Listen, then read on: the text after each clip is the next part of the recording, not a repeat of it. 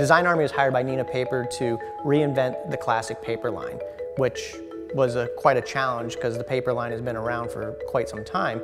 And how do we make that classic current? Neenah Classic brand, it's a family of four different products. Uh, the brand it consists of Classic Crest, Classic Linen, Classic Column, and Classic Laid. We were trying to figure out how to reposition and rebrand these, these four well-known paper lines, but at the same time, they were introducing all these new elements, 10 perfect colors. I think when people get this Perfect 10 book in their hands, it's gonna be really hard for them to let it go. For the opening of the Neenah Perfect 10, we wanted to do a shot that captured all the 10 colors uh, for the new line. Decking the guy out in the 10 colors, it's a great way to kind of visually set up what's about to happen on the inside.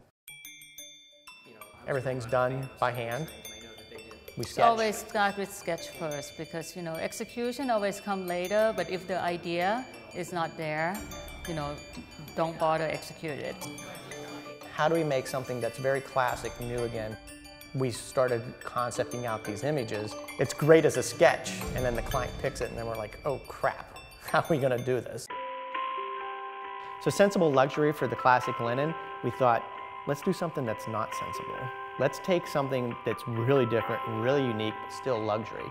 And so the concept of taking the model and poking her through this paper and really just focusing on the beauty aspects of her. When she first stuck her head through the paper, it's kind of bizarre, you know, it's kind of like, you know, the paper birth of, of the model, I guess. We have a hand poking through that's holding a little book. We have one that's holding a mirror and lipstick.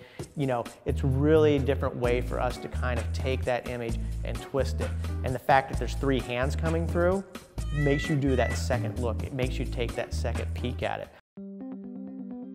Postman Complete Communicator, we wanted to have this classic Postman, but in a modern way. We decided to shoot at this great topiary garden in Baltimore. You really feel like this postman is standing in the middle of this great, huge estate, sort of fantasy-like. He has on the, the classic jacket and the classic postman hat, but then he also is holding this smart tablet, you know, and it's a way to kind of make it a little bit more modern, a little bit more interesting. Well, in all the books, we all there's all these like little hidden elements. You know, the postman has his tablet that he's delivering. On the still life with the vases, there's actually a hand that's cast for the handcrafted. So there's a little weird element there. The linear impacts for the classic columns. It's that repetition of line, that uniformity of line, and we wanted to capture that into the image as well. Once we got to the Franciscan monastery, we also then had to kind of quickly clean the area where we were going to shoot. The idea for the balloons, that'd be her.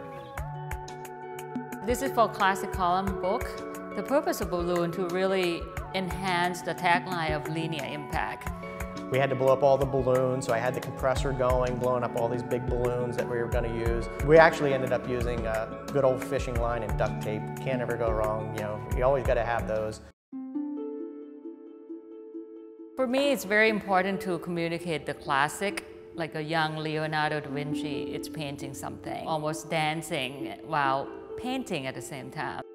This image actually ended up turning out to be quite different because we had originally shot it with the white background. We were able to take that image and remove the tree. So we just have the guy painting and then we're able to have him paint stripes and be able to paint uh, patterns and textures or whatever we want to do now on a lot of the advertising. Either blue or this is the best, you sure? Once we got the image back and we start doing retouch on the images, that's where they really start to grow and evolve into their final product. That's better. Just taking the picture and dropping it in is never going to work. You have to treat all those images as like little works of art. We feel pretty successful with the project. We set off with this whole wide range of crazy concepts. And it was all these interesting things that we presented to the client as a concept. And whenever you can kind of finally see them come together in the final product, it's a really great sense of accomplishment.